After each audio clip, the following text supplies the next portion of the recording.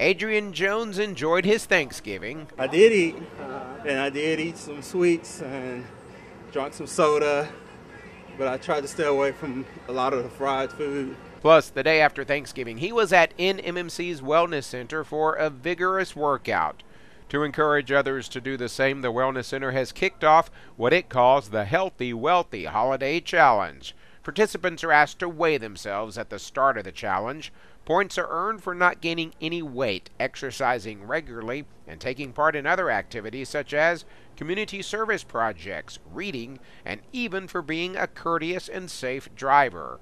Heather Thorne is a staff member at the Tupelo Wellness Center, and she has decided to take the challenge herself. I have the same problems everybody else does. It's the holidays. It's it's a fun time, but it's a stressful time. You overeat, you don't sleep enough, you don't exercise enough, and I face those same challenges. Just because I work here doesn't mean I don't have the same problems everyone else does. So this keeps me focused. The goal of the challenge is to foster healthier lifestyles and habits. For Jones, that means cutting back on time in front of the television. You don't want to watch too much TV. Nah, even though football is addictive, that's pretty much my major sin when it comes to watching TV is watching football games. And watching WCBI News, right? That is true. The Healthy Challenge runs through January 13th.